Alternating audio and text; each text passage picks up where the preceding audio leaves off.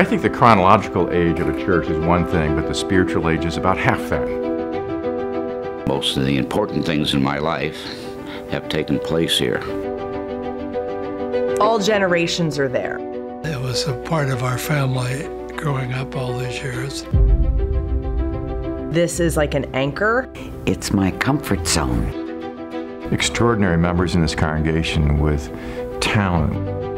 God and community are always there with us in this church. If it wasn't for the man upstairs in Ladue Chapel, I'd have never met her.